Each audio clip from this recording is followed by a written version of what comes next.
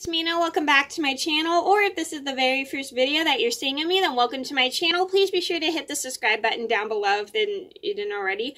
I post every day of the week. Well, on today in this video, I'm going to talk about my top 10 kitchen safety tips. Now, um, as an employee at a restaurant, I have been learning so much about kitchen safety, especially when I was cooking with my mom and everything. So I've learned so much about handling things and how to be safe in the kitchen. So kitchen and I hopefully this will help you and hopefully help your kids as well if they want to learn how to cook but cook and because I know there's some kids at a young age who want to learn how to cook but kids need to know how there is an important rule about cooking.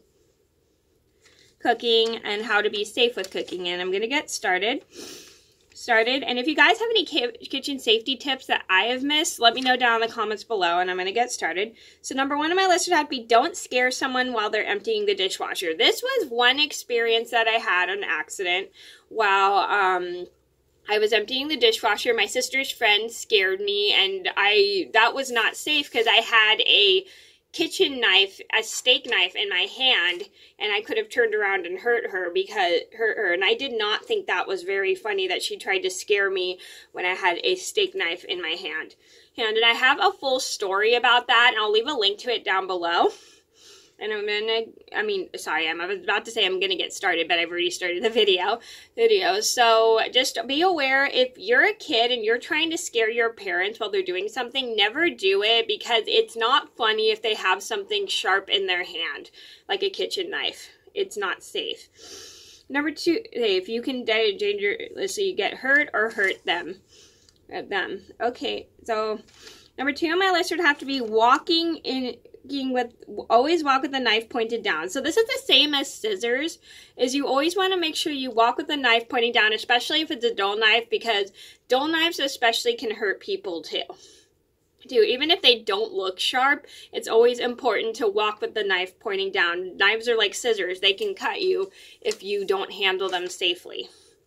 Number three on my list would have to be be aware when the oven door is open. So this is a scary story. So one time my sister and her friend were playing this game where they were making themselves faint and one of my my sister's friend almost fell right next to the open oven door when my mom was cooking and we had to get them out of the kitchen because my mom was trying to cook cook and we told them how it was unsafe for them to be doing that that and it's not just be aware of when the oven door is open because you don't want to accidentally put thing things on it or or fall when the oven door is open because because you don't because people can get seriously hurt.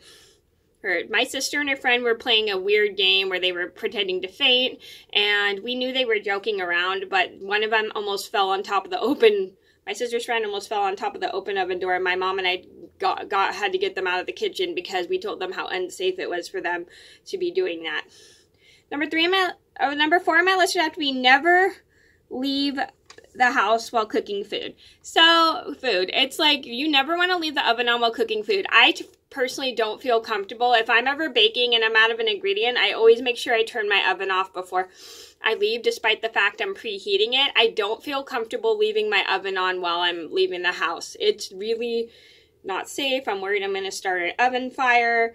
And I always, when I leave my house, I always make sure my oven is turned off.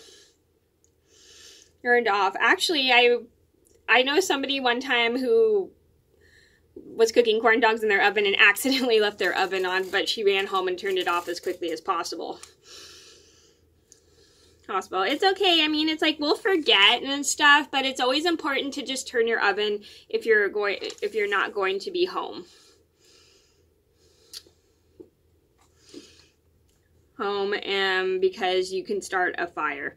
Number five on my list would have to be never leave kitchen knives in reach of children. Now, this is a very important safety rule. Is like, I know a lot of you guys know this if you have kids like at a small age that are three or two. You never just want to leave something dangerous like knives out. Out because they could get into them, they could cut themselves, and it is no fun when somebody cuts themselves. It just hurts really bad So it's always important to make sure your children aren't in the kitchen when you're using knives because you don't want to cut anybody. Number six on my list would have to be don't leave kitchen towels or hot pads near the burner. Now, I remember one time I was cooking and one time, um, I think my mom was cooking or something, or I don't remember. I accidentally left a hot pad almost near the burner, and that's not really good. My mom took it off right away, way because she was worried about the fire starting starting and it's always just good to make sure there is nothing flammable near the burner because you don't want to start a house fire. Number seven on my list be always pay attention to when you're cooking. So this is one of my biggest things that irks me is like when people try to call me while I'm cooking.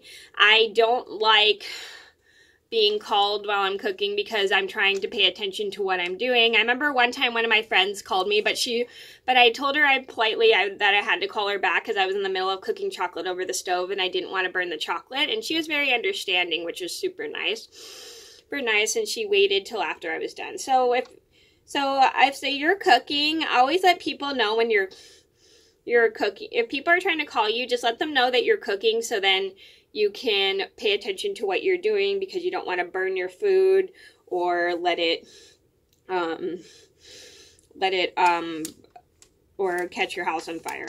Number eight on my list would be don't run into people who are carrying hot water.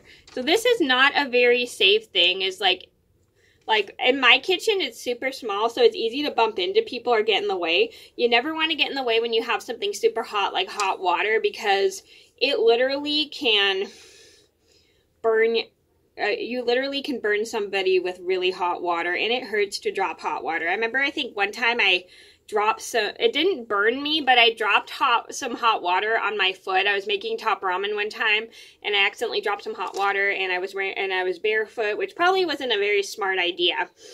Yeah, and it did it didn't burn my foot at all. It just hurt. Number 9 on my list have to be always make sure the appliances are turned off when finished. One second. I apologize, I had to close the door. So anyway, um, so this is one thing my mom always has to do is when she leaves the house is like she always makes sure like the oven's turned off the stove's turned off everything on the oven is just completely turned off before um, we leave the house because we don't want to start a fire in our house house and house and then when we're done cooking we always make sure we turn everything off off which is a good thing because it um because if we don't turn everything off we could probably start a house fire fire and we don't want that number 10 on my list would be don't stand in someone's way when they're cooking. Now this is one thing that really irritates me when i'm cooking because like i said my kitchen's really small but we're going to rearrange it later because we don't we can't rearrange it now because especially because of covid. But um, we're going to rearrange my kitchen just to make it easier for all of us because everybody just gets in everyone's way when they're cooking and it really, really irritates me and and it's never good to get in someone's way when they're cooking because they could have hot water, they could have like a kitchen knife, and it's just not safe to to just stand in someone's way when they're in a kitchen, especially if it's really, really small small and they have like something hot like water or just just like hot food it's just never safe. Okay so those are my top 10 kitchen safety tips. I hope you guys enjoyed the video. Thank you so much for watching and let me know if this was very helpful for you and you can use this with your kids and stuff. But thank you guys so much for watching. Please be sure to like and subscribe if you haven't already. I post every day of the week for all and i'll see you everybody soon. Bye